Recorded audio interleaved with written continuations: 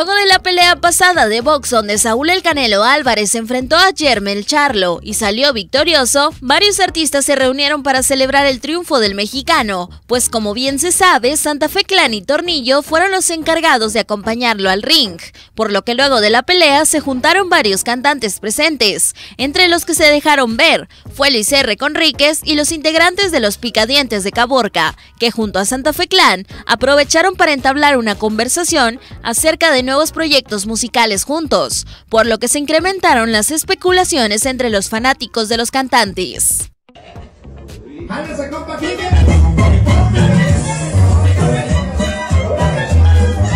Esta plática al parecer sirvió de gran inspiración para que Santa Fe Clan, Luis R. Conríquez y los Picadientes de Caborca llevaran a la realidad un tema fusionado en las voces de los intérpretes, la cual llevará un título un poco intrigante como La Peligrosa, pues este nombre ha desatado rumores sobre la razón por la que se eligió para el nuevo sencillo, así como la canción, la cual ya ha despertado la atención entre los fanáticos, quienes siguen de cerca los pasos de Luis R. Conríquez y Santa Fe Clan.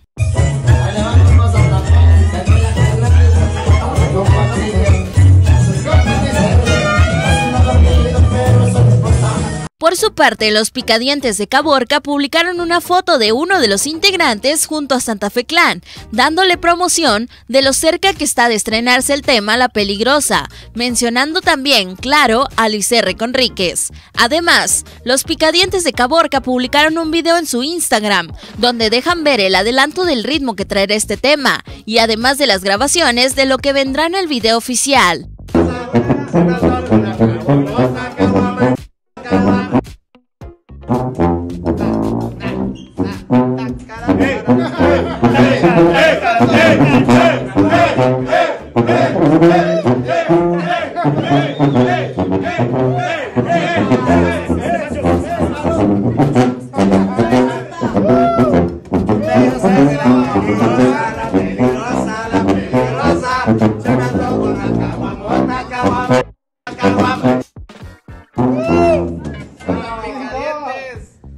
Santa Fe. Recuerda que lo más importante para nosotros es tu opinión, así que haznosla saber en los comentarios y no olvides darle suscribir a nuestro canal.